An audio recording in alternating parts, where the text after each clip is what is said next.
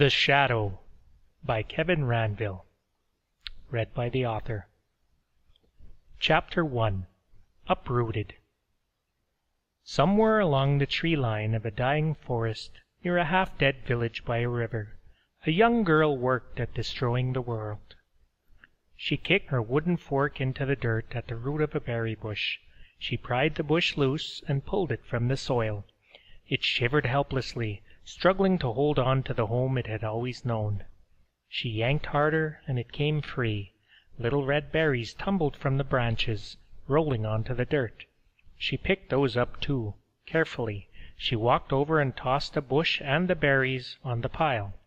Then she stopped for a moment to glance across the skies to the east. The air was hazy, but the sky above was blue. Other villagers were digging up other bushes near by.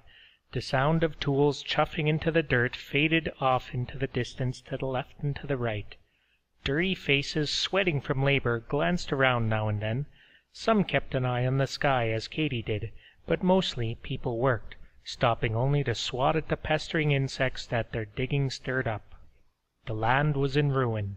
The ground between the tree line and the village looked like a festering wound, like a battlefield where only the forest had died. Other than a few winding trails leading back to the village like stony gray veins, there were only mucky puddles of various colors brown, orange, gray, green. A few trees remained, some leaning, some fallen, some still standing, but all were dead, and there were no bushes, shrubs, or grasses anywhere. There were only tree stumps, otherwise, and so many cratered puddles where the rains had not been soaked up by the thirsty forest. The villagers worked in groups, organized by households. Kaitee, being an orphan, was paired with Meredy, the village elder, she and her brother lived with. The old woman was weak and slow, though, and her mind tended to wander. Kaitee wound up doing most of the work every day. Soldiers stood by, watching, pacing back and forth in their squeaky leather uniforms and shiny metal hats. They were sweaty as well, and they swatted at the same in insects that pestered the villagers but they did no work. Some strutted and strolled around, some stood with their hands on the hilts of their swords, some leaned on trees, grumbling. Occasionally they jabbed at folk with the butts of their spears, prodding them back to work when they stopped to lean on their tools for too long. There was smoke in the air. Workers hurried about with wooden carts collecting the uprooted berry bushes and tossing them onto fires in nearby pits. When a pile got too high, it was collected and taken away to be burned. The branches crackled as the flames took them, and the berries sizzled, letting go of their juices with a steamy hiss. The pillars of smoke reached high into the sky, and the air had a sweet smell to it. But the berries were poison. King Theron wanted to rid the world of them. He had them working in the thicket day after day without rest. The sooner the very last berry bush is burned to ashes, the sooner the world will be safe. They're poison, every last one of them, the guard captain had said, and you will all do your part to serve the land and your king in ridding the world of this menace. Kaitee wondered how poison could ever smell so sweet. She wore the short-sleeved gray cloth dress of a peasant girl. It was dirty from the work. It needed washing. She had a shirt pocket and a little hide satchel tied around her waist with a string. She wore little brown shoes made of animal skin. She stopped to dab her handkerchief at her watering eyes. Her dark brown hair clung to her forehead in sweaty clumps. She brushed it aside with the back of her hand and shoved the handkerchief back into her satchel. She scratched at her leg before grabbing her wooden fork again. Her leggings were making her itchy as always. Her hands were sore, her legs were tired, her back ached. The berries were poison. Kaitee wondered if some of that poison was slowly getting into her, making her ache and itch, making her so very sore and weary. A gust of smoke blew past her, making her eyes water again. She grumbled a bit in frustration, but got back to work. Meredy glanced over at her and smiled, laying her own berry bush carefully onto the pile. "Crying for the bushes, are you?" she said. "It's the smoke," Kaitee replied. "The wind is westerly today. We should be thankful it's not from the south. Then it would be hot and smoky. Kaitee glanced at the skies again. All clear. Then she searched out the next berry bush, shoving a few shrubs aside. The berry bushes were scattered here and there. Some were hidden, some were out in plain sight, but it was never more than ten or so steps between them. Some were shiny, some were dull, some had big fat round looking berries, others had tiny little pellet berries no bigger than a seed. Some were brightly colored, others were gray as stones. But they all had to go. She found one and pressed her fork into the roots of it. It was a pretty little bush with pink berries, each berry crowned with white flowers. She had been yanking berry bushes for nearly a year, and she had never seen one like this. She paused, just staring at it. Meredy stepped up beside her. "Those are maiden's kiss berries," the old woman said. "They make a boy's cheeks as pink as though he were kissed by the prettiest girl you ever saw. We used to use them to embarrass the young men of our village when I was a girl. They never did much to a girl's cheeks that we ever knew. But maybe it's because girls' cheeks are pink already." "You you smeared them on a boy's cheeks?" Kaitee asked. The berries were pink and juicy. She imagined they left quite a stain. "No," Meredy said, laughing her breathy little coughing laugh. "We'd squeeze the juice into the boy's tea. He'd gulp it down and his cheeks would be pink all day." She laughed again, remembering. "But they're poison. If somebody ate these Kaitee looked at her as though she had lost her mind. "No," Meredy said, shaking her head sadly. "They're not poison. That's just what the king told everyone. It's all lies, though. The berries are magic. Really they are. If only people remembered the old ways." Kaitee sighed. This magic berry business again. Bah! That kind of talk would be the death of the old woman yet. And next would be a long, rambling speech about all the village traditions and myths. She was far too hot and tired to endure it right now. There's no such thing as magic berries, Meredy. Be quiet about that. I don't want to get in trouble. The guards!" Kaitee kicked her fork in and yanked out the maiden's kiss bush. They sure didn't look poisonous. They were actually quite pretty. She pulled the bush from the earth and took it to the pile. Meredy was still chattering away as though Kaitee hadn't even left. Maybe the old woman really had lost her mind. "A few sips and the boy's cheeks would be pink as a maiden's lips," Meredy muttered on. She turned slowly away troubled by some ache in her back, and started searching half-heartedly through the thicket for a bush to uproot. "We had berries that would heal wounds and sickness, berries that could make you strong as a horse, berries that were good for eating. We even had berries that could make you tall as a house. Why, my brother ate four of them once, and he had to sleep outside for a week. He couldn't fit through the door." She laughed again and this time the guard heard her. "Quiet, old woman!" His voice boomed, annoyed. "Keep working, or you'll be yanking bushes with a bleeding back." Meredy hushed. She sighed sadly. "You see," Kaitee whispered. "Stop babbling like a silly old goose and keep working." "Better to be a silly old goose than a monster," Meredy replied. "You may not like it, but it's beatings for both of us if you dawdle and fuss, and I have no wish to go through that again." The guards used fresh cut sapling branches on dawdlers, slashing and whipping them mercilessly back to work if they lagged.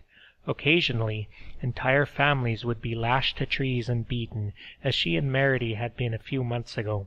She'd ached for days after that, but Meredy had nearly died. Kaitee was bitter about that for a long time. She kicked her wooden fork in and continued. She remembered splashing in the river with friends when she was little. She remembered chasing her baby brother through the trails around the village. She remembered hearing great stories by the fire under the stars at night. She remembered the village song, how the melody seemed to dance in the air all around her as the entire village sang together. She remembered feeling so peaceful and content, sitting between her mother and father. It was a feeling she hadn't felt since then. All she had now was the memory. Now everything was just sadness, weariness, mud and smoke, ash and pain, Hunger, thirst, and work, work, work. Back then there had been no shadow to worry about. Kaitee checked the sky once more and adjusted the rags that kept her hands from blistering. The pile of dying bushes was nearly waist high now. The cartman came along and took it away, gathering up every last berry to be sure they never sprouted again. Even the very seeds had to be destroyed, every last one of them. Chuff, chuff, chuff, work, work, work. Little hard work never hurt anybody, Kaitee's father used to say. But it did hurt. It hurt a lot day after day without end. It hurt less than the beatings you got for not working, though. Her father had been one of the first to stand up and fight the shadow when it had swooped down with that horrible scream. The other men cowered and ran for cover, even the soldiers, but her father had snatched a spear from a guard and charged forward. The shadow had seen him coming and screeched defiantly, dodging the hurled spear with a hop that rumbled the world and then it had torn the roof right off a hut with its terrible claws and flung it at the lone warrior who dared to make a stand. That was the last time Kaitee had seen her father alive. He dodged to the right, but not quick enough. Kaitee missed him, but it was her mother's death a few weeks later that had broken her heart. Her mother had fallen while fetching water for the workers. People said the tears of grief over her lost husband had blinded her. She stumbled and fell from the cliff by the waterfall, falling into the raging waters below, never to be seen again. It had broken Kaitee's heart because now she and Derreby were all alone. Meredy had taken them in, and she'd done her best to care for them, but it could never be the same as the family they'd once had. And things had gotten worse as the years of constant labor passed. The once hardy people were thin, weary, half starved, covered in bandages and scars, as withered as the forest itself. Hearts in the village had slowly turned bitter. The people had once turned to Meredy for guidance and relief, but she had no answers. The old ways of life had ended. There was little she could do but teach them the best ways to bandage the small wounds they got while working. She tried to give one young woman some crushed berries to salve her blisters. Healing berries, she'd called them, but the guard had backhanded her for it knocking her to the earth. I ought to whip you for trying to poison her like that.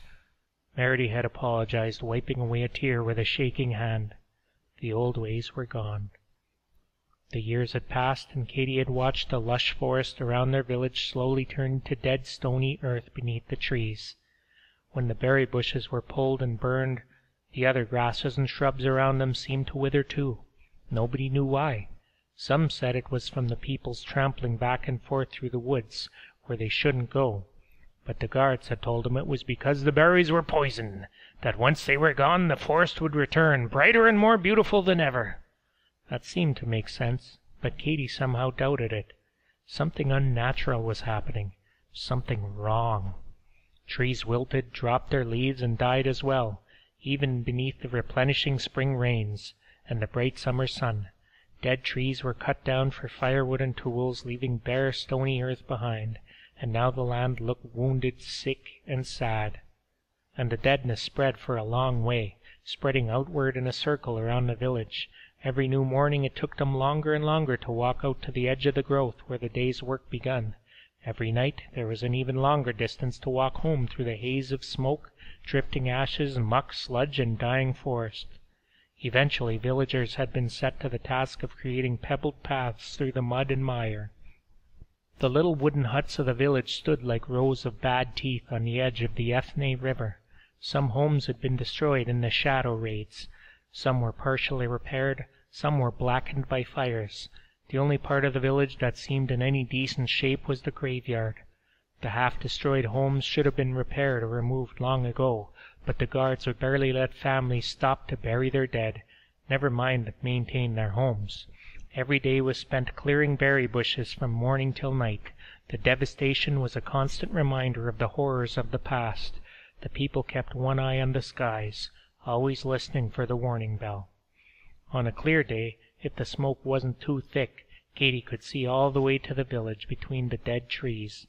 You weren't supposed to be able to see all the way to the village. There was supposed to be a forest in between, with a wagon trail winding down from the town of Yenti a few miles to the west. Kaitee could never get used to the sight of bare dead earth stretching out all the way back to the village. She preferred to face the woods ahead. There was still life in that direction. Kaitee wasn't the only one who felt that way. Sometimes Meredy worked with tears flowing down her face, apologizing to each berry bush before she tugged it from the earth. Sometimes she whispered prayers, asking forgiveness.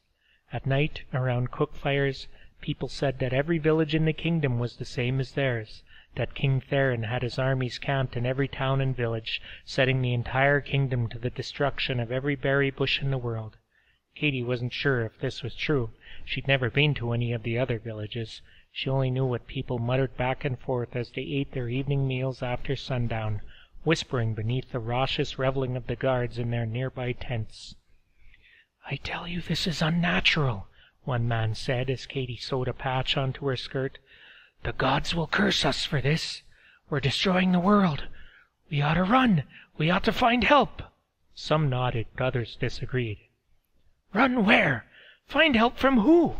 The entire world is the same, in every direction as far as you could run. Every village is up to the same dirty business we are. Curse us? The gods are the only thing that can help us. Stop this foolish talk of running. Pray instead. Meredy had nodded, listening with her eyes closed. Kaitee couldn't imagine prayer would do much good against a king who was powerful enough to enslave the entire world. She'd prayed constantly when the village had first been taken over, but five years later, and after the death of both her parents, she'd realized that if there were any gods at all, they were apparently deaf. She preferred the bad news of the world at large to the stories of the shadow, though. Talk of the king's tyranny soon gave way to muttering about the great black terror in the skies. Huddle close, children, an old woman whispered. You don't want the shadow snatching you up and carrying you away like so many others. Huddle close. Why does the shadow steal children? a frightened little boy asked, his eyes wide, shining with fear in the firelight. For food. Why else? the old woman replied, jabbing a stick into the fire and stirring angry ashes to fly up and die on their way to the stars above. The children shivered, cuddling even closer to their parents, afraid to look up at the empty black sky. Derby gripped Kaitee's arm a little tighter, but said nothing. Derby never talked. Kaitee didn't think it was true, though, about the shadow eating little kids. If the shadow was eating the children, wouldn't he come back for more every day? And wouldn't he grab the adults instead of the children, if he was grabbing them for food? Adults were bigger. She never voiced her doubts, though. She kept a lot of thoughts to herself by the fires at night. She was fifteen and a girl. Nobody cared what she had to say. Ask fewer questions and you'll get fewer whippings, the guards were fond of saying. It was daytime now. The skies were clear. Things were quiet, but silence did not mean safety. It had been a few months since the last child was snatched from their village, and people were starting to say that the bird was due for another visit.